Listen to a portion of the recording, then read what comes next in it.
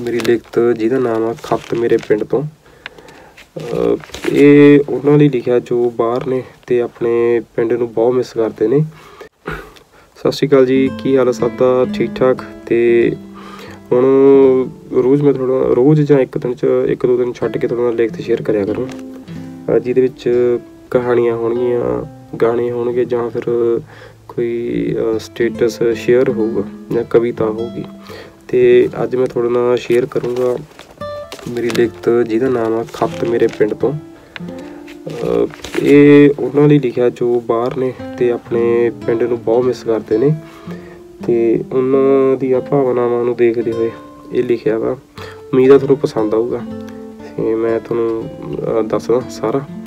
ਉਸ ਤੋਂ ਬਾਅਦ ਲਾਈਕ ਕਮੈਂਟ ਤੇ ਸ਼ੇਅਰ ਸ਼ੇਅਰ ਜ਼ਰੂਰ ਕਰਿਓ ਜੇ ਤੁਹਾਨੂੰ ਪਸੰਦ ਆਇਆ। ਇਹ ਹੈਗਾ ਖੱਤ ਮੇਰੇ ਪਿੰਡ ਤੋਂ।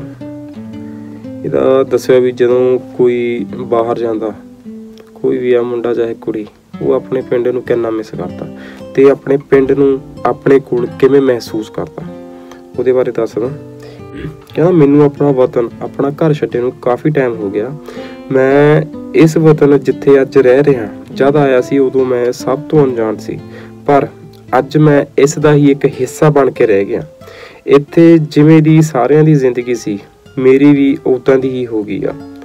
ਮੈਨੂੰ ਜਦ ਵੀ ਕੋਈ ਪੁੱਛਦਾ ਕਿ ਕੀ ਕਰਦਾ, ਮੇਰਾ ਜਵਾਬ ਇੱਕ ਹੀ ਹੁੰਦਾ, ਕੰਮ ਕਰਦਾ, ਕਿੱਥੇ ਆ, ਕੰਮ ਤੇ ਆ, ਕਿੱਥੇ ਚੱਲਿਆ, ਕੰਮ ਤੇ ਚੱਲਿਆ ਤੇ ਕਿੱਥੋਂ ਆਇਆ, ਕੰਮ ਤੋਂ ਆਇਆ।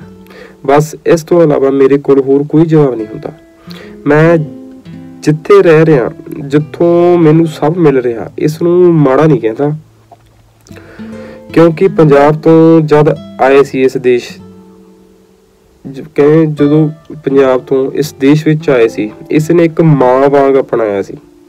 ਅੱਜ ਇੱਕ ਗੱਲ ਜੋ ਤੁਹਾਡੇ ਨਾਲ ਸਾਂਝੀ ਕਰ ਰਿਹਾ, ਉਹ ਇੱਕ ਖੱਤ ਦੀ ਹੈ, ਜੋ ਮੈਨੂੰ ਮੇਰੇ ਪਿੰਡ ਵੱਲੋਂ ਇਹ ਚੱਲਦੀਆਂ ਹਵਾਵਾਂ ਨੇ ਬਿਨ ਕੁਝ ਮੰਗੇ ਲਿਆ ਕੇ ਦਿੱਤਾ ਹੈ। ਉਹਦੇ ਆਉਣ ਤੇ ਮੈਂ ਇੰਨਾ ਖੁਸ਼ ਹੋਇਆ ਕਿ ਮੇਰੇ ਅੱਖਾਂ ਵਿੱਚੋਂ ਖੁਸ਼ੀ ਦੇ ਅਥਰੂ ਵੀ ਆ ਗਏ। ਕਿ ਮੇਰੀ ਅੱਖਾਂ ਵਿੱਚੋਂ ਖੁਸ਼ੀ ਦੇ ਅਥਰੂ ਵੀ ਆ ਗਏ।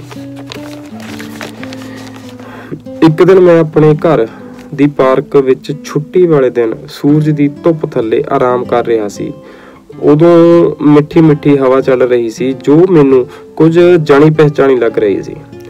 ਜਿੱਦਾਂ ਹੀ ਮੈਂ ਅੱਖਾਂ ਬੰਦ ਕਰ ਉਸ ਨੂੰ ਮਹਿਸੂਸ ਕੀਤਾ ਤਾਂ ਮੈਨੂੰ ਮੇਰੇ ਪਿੰਡ ਵੱਲੋਂ ਭੇਜਿਆ ਗਿਆ ਇੱਕ ਖੱਤ ਮਿਲਿਆ, ਜਿਸ ਨੂੰ ਖੋਲਦੇ ਹੀ ਮੈਂ ਆਪਣੇ ਪਿੰਡ ਪਹੁੰਚ ਗਿਆ ਸੀ, ਜਿੱਥੇ ਮੇਰੀ ਮਾਂ ਮੈਨੂੰ ਰੋਟੀ ਖਾਣ ਨੂੰ ਆਵਾਜ਼ਾਂ ਮਾਰ ਰਹੀ ਹੈ, ਜਿੱਥੇ ਮੇਰੇ ਪਿਤਾ ਮੈਨੂੰ ਕੋਈ ਕੰਮ ਦੱਸ ਰਹੇ ਨੇ, ਜਿੱਥੇ ਮੇਰੀ ਦਾਦੀ ਮੇਰੇ ਦਾਦਾ ਜੀ ਤੋਂ ਪੈਸੇ ਲੈ ਕੇ ਮੈਨੂੰ ਕੁਝ ਖਾਣ ਨੂੰ ਲੈ ਲਈ, ਇਹ ਕਹਿ ਰਹੀ ਹੈ, ਜਿੱਥੇ ਮੇਰਾ ਛੋਟਾ ਭਾਈ ਮੈਂ ਵੀ ਖਾਣਾ ਇਹ ਕਹਿ ਰਿਹਾ ਹੈ, ਜਿੱਥੇ ਮੇਰੇ ਦੋਸਤ ਮੈਨੂੰ ਖੇਡਣ ਜਾਣ ਨੂੰ ਆਵਾਜ਼ਾਂ ਮਾਰ ਰਹੇ ਨੇ, ਜਿੱਥੇ ਅਸੀਂ ਖੇਤਾਂ ਵਿੱਚ ਪਤੰਗ ਲੁੱਟਣ ਲਈ ਭੱਜ ਰਹੇ ਹਾਂ, ਜਿੱਥੇ ਜਿਹਦੇ ਖੇਤ ਸੀ, ਉਹ ਸਾਡੇ ਪਿੱਛੇ ਡਾਂਗ ਲੈ ਕੇ ਭੱਜ ਰਿਹਾ ਹੋਵੇ, ਜਿੱਥੇ ਸਾਰਾ ਦਿਨ ਪਿੰਡ ਦੀਆਂ ਖੇਡਾਂ ਖੇਡ ਰਹੇ ਹਾਂ।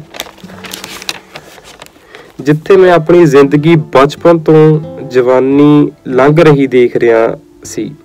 ਇਹ ਸਭ ਦੇਖਣ ਤੋਂ ਬਾਅਦ ਮੈਂ ਘਰ ਦੇ ਵਿਹੜੇ ਵਿੱਚ ਮਿੱਠੀ ਮਿੱਠੀ ਧੁੱਪ ਸੇਕਣ ਨੂੰ ਬੈਠਾ।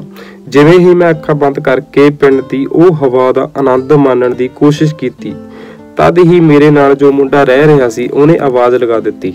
ਤੇ ਮੈਂ ਇੱਕ ਵਾਰ ਫਿਰ ਆਪਣਾ ਪਿੰਡ ਆਪਣਾ ਘਰ ਛੱਡ ਕੇ ਇਹ ਵਤਨ ਵਾਪਸ ਪਰਤ ਆਇਆ। ਜਿੱਦਾਂ ਹੀ ਮੇਰੀਆਂ ਅੱਖਾਂ ਖੁੱਲੀਆਂ, ਪਿੰਡ ਬਾਰੇ ਸੋਚ ਕੇ ਅੱਖਾਂ ਭਰ ਆਈਆਂ। ਮੁੰਡਾ ਪੁੱਛਣ ਲੱਗਾ ਕਿ ਕੀ ਹੋਇਆ? ਤੇ ਮੈਂ ਉਹਨੂੰ ਸਾਰਾ ਕੁਝ ਦੱਸਿਆ। ਉਸ ਤੋਂ ਬਾਅਦ ਉਹ ਵੀ ਮੇਰੇ ਨਾਲ ਆਪਣੇ ਪਿੰਡ ਨੂੰ ਉਵੇਂ ਹੀ ਮਹਿਸੂਸ ਕਰਨ ਲੱਗਾ ਜਿਵੇਂ ਮੈਂ ਕਰ ਰਿਹਾ ਸੀ। ਇਹ ਮੇਰੇ ਪਿੰਡ ਤੋਂ ਪਿੰਡ ਦੀਆਂ ਹਵਾਵਾਂ ਦੇ ਜ਼ਰੀਏ ਮੈਨੂੰ ਖਤ ਆਇਆ ਸੀ, ਜਿਸ ਵਿੱਚ ਸਾਫ਼-ਸਾਫ਼ ਮੈਨੂੰ ਪਿੰਡ ਮੁੜ ਆਉਣ ਦਾ ਕਹਿ ਰਿਹਾ ਸੀ। ਤੇ ਇਹ ਸੀਗੀ ਛੋਟੀ ਜੀ ਕਹਾਣੀ ਜਿਹਦਾ ਨਾਮ ਸੀ ਖਤ ਮੇਰੇ ਪਿੰਡ ਤੋਂ। ਇਹਦੇ ਵਿੱਚ ਦੱਸਿਆ ਗਿਆ ਕਿ ਕਿਵੇਂ ਬੰਦਾ ਉੱਥੇ ਰਹਿ ਕੇ ਆਪਣੇ ਪਿੰਡ ਨੂੰ ਮਹਿਸੂਸ ਕਰਦਾ ਤੇ ਉਹ ਕਿੰਨਾ ਦੁਖੀ ਹੁੰਦਾ ਤੇ ਕਿੰਨਾ ਖੁਸ਼ ਹੁੰਦਾ ਜਦੋਂ ਉਹਨੂੰ ਪਿੰਡ ਦੀ ਕੋਈ ਯਾਦ ਆਉਂਦੀ ਜਾਂ ਪਿੰਡ ਤੋਂ ਕੋਈ ਮਿਲਦਾ ਜਾ ਕੇ। ਤੇ ਮੈਨੂੰ ਉਮੀਦ ਆ ਕਿ ਤੁਹਾਨੂੰ ਇਹ ਪਸੰਦ ਆਈ ਹੋਣੀ ਆ, ਵਧੀਆ ਲੱਗੀ ਹੋਣੀ ਆ। ਤੇ ਐਵੇਂ ਹੌਲੀ ਹੌਲੀ ਤੁਹਾਡੇ ਨਾਲ ਆਪਣੀਆਂ ਹੋਰ ਕਹਾਣੀਆਂ, ਲਿਖਤਾਂ ਸ਼ੇਅਰ ਕਰਦਾ ਰਹੂੰਗਾ। ਤੁਸੀਂ ਸਪੋਰਟ ਕਰਿਓ ਤੇ ਤੇ ਹੁਣ ਇਹ ਵੀਡੀਓ ਨੂੰ ਲਾਈਕ ਕਮੈਂਟ ਤੇ ਸ਼ੇਅਰ ਜ਼ਰੂਰ ਕਰਨਾ ਜੀ। ਧੰਨਵਾਦ।